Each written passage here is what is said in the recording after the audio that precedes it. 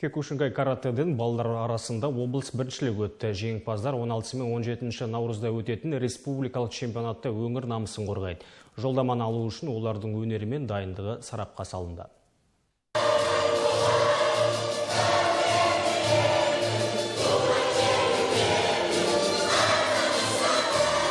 Жарысқа қатысушылардың бірі 11 жастағы алихан қабдырахим ол каратэге 4 жылдан бері қатысып жүр. Жас спортшы сайысқа тыңғылықты дайындалып жеңіс тұғырынан көрінді. Мен осы жарыстың жеңімпазы атандым мамыр айында болатын болгария елінде чемпионат европа жолдама алдым. Мен осы чемпионатта ақтауда үшінші орын алдым. Чемпионаттан астанадан екінші орын үшінші орын алдым.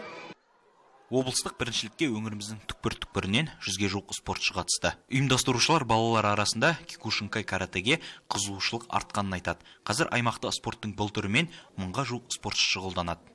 Маңғыстау облысының чемпионаты өткізу мақсаты яғни спорт терроризмге және есірткіге қарсы атауы бүгінгі жарыс өткізіп жатырмыз.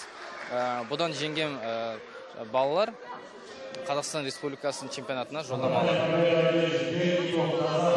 Бүгінгі бүгін бүгінгі жарысымызда жүзге жуық спортшы қатысуда. Маңғыстау облысының әр өңірінен жүзге жуық спортшы қатысуда.